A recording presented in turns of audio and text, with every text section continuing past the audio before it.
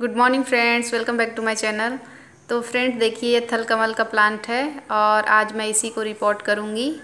और इनकी रूट्स भी देखिए पॉलीबैग से बाहर निकल गई है। तो इसे मुझे रिपोर्ट करना बहुत ज़रूरी भी हो गया है। मैंने मिट्टी तैयार कर ली है। और इस प्लांट में जो फूल आएँगे, वे एक दिन में तीन कलर के चेंज होंगे। ऐसा भैया नर्सरी वाले भैया ने बताया है।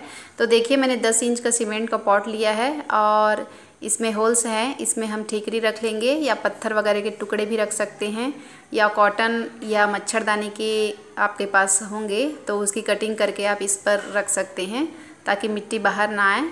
और ये देखिए फ्रेंड्स मैंने मिट्टी तैयार की है। मैंने इसमें एक भाग मिट्टी मिलाई है, एक भाग सेंड मिलाया है। मैंने इस बार सेंड की मात्रा थोड़ी ज़्यादा रख दी है और मैंने कोकोपीट भी मिलाया है। एक भाग तो नहीं मिलाया है, थोड़ा सा मिलाया है। कोकोपीट और नीम खली और इसमें एक चम्मच फंगीसाइड पाउडर। गमले के हिसाब से मिलाइएगा। और मेरी मिट्टी ज़्यादा है तो मैंने ज़्यादा मिलाया है क्योंकि मैंने पूरी मिट्टी एक साथ तैयार की है। और देखिए, मैंने पॉली बैग से निकाला है और इनकी रूट्स कितनी अच्छी है। और फ्रेंड्स, इसकी मिट्टी बिल्कुल चिकनी मिट्टी में लगी है तो मैं इसमें मिट्टी बिल्कुल नहीं हटाऊँगी इस प्लांट से। इसकी मिट्टी बहुत वेल ड्रेन मिट्टी है, बहुत अच्छी मिट्टी है, सेंड वाली मिट्टी है। और इनकी रूट्स देखिए कितनी अच्छी सी डेवलप हुई है।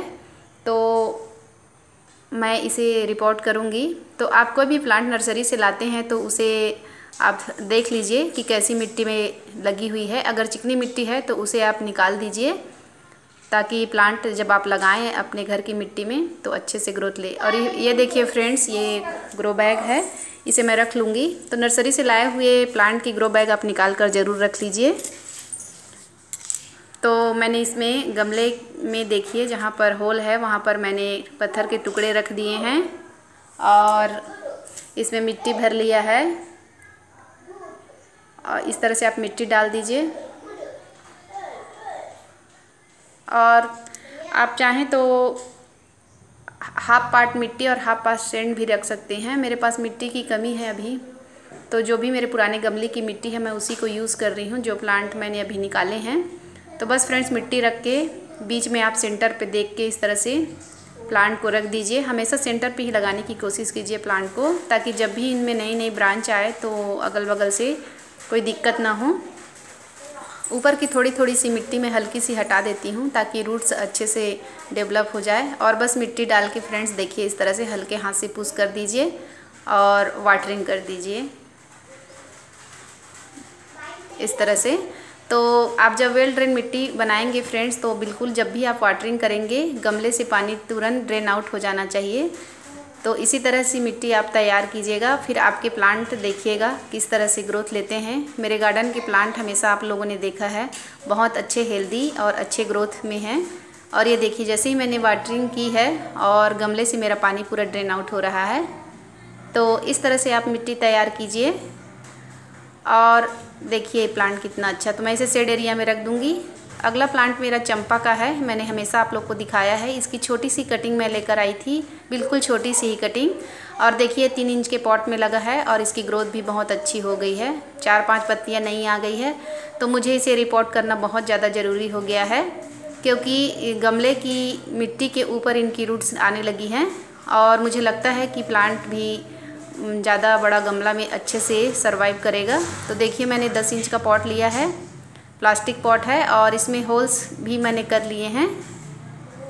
इसमें मेरा पुराना प्लांट लगा था तो मैंने उसे हटाया है। और बस इस होल्स में मैं, देखिए, ये कैरी बैग के टुकड़े मैं रख दूँगी इसमें और इसमें मिट्टी डालकर मैं इसे लगा लूँगी। तो फ्रेंड्स मैं वही मिट्टी यूज़ कर रही हूँ जो मैंने अभी आप लोग को बताया है। तो मैंने बहुत सारे एक साथ मेरे को प्लांट लगाने थे तो मैंने मिट्टी तैयार कर ली है।